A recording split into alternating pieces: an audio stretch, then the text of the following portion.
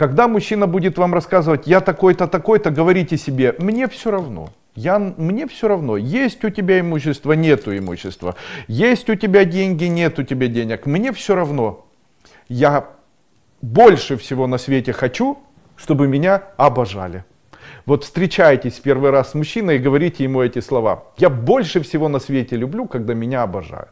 А интиму я отношусь как к празднику. Ты видишь во мне обожание? Обожай меня. Помните в этом мультике гусеница говорила, кружите меня, кружите.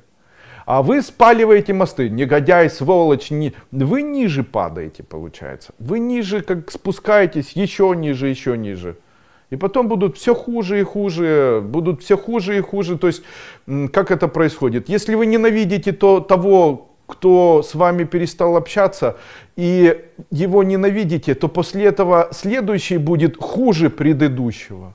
А еще следующий еще хуже. Их нужно отпустить. Отпускаю, у меня будет лучше. Как бы мысленно, это э, в индийском эпосе есть некая такая фигура, это фигура Кали. Фигура Кали это антидот или перевернутый антидот Лакшми. Это фигура женщины, которая стоит одной ногой на раздавленном мужчине.